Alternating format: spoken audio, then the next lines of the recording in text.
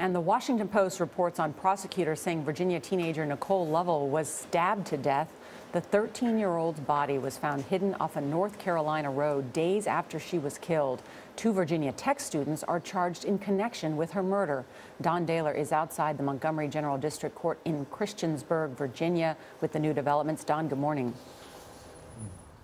Good morning. Investigators are trying to piece together exactly what happened to Nicole Lovell after she disappeared from her bedroom as her family now plans to say their final goodbyes with a viewing later today and a funeral tomorrow.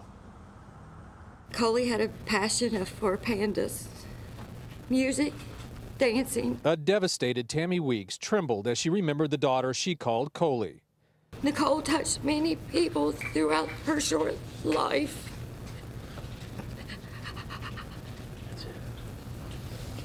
Yeah, I can't do that part. At a press conference, authorities revealed 13 year old Nicole Lovell was murdered hours after she snuck out of her bedroom window last Wednesday. A very preliminary determination of the cause of death is stabbing. It's still unclear why Virginia Tech engineering students David Eisenberg and Natalie Keepers allegedly carried out the crime.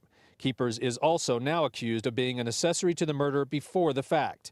A new arrest warrant suggests her involvement may have started weeks ago. Would have never dreamed my daughter would have been talking to a, you know, Virginia Tech student.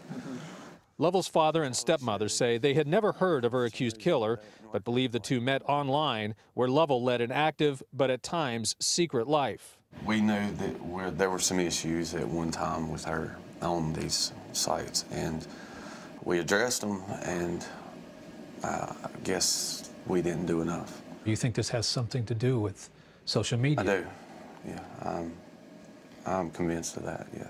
That's one reason why we're here now is to tell parents, look, if you don't think you did enough, do some more.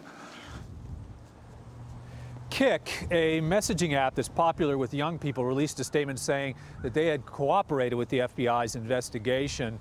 Uh, Natalie Weeks, uh, excuse me, Natalie Weeks, Natalie uh, Keepers, the third, the second suspect in this murder, is due for arraignment here at the courthouse later today on that increased charge of accessory before the fact. That carries a potential sentence of 20 years to life. Gail. All right, Don. The more you hear, the worse it sounds. Thank you so much.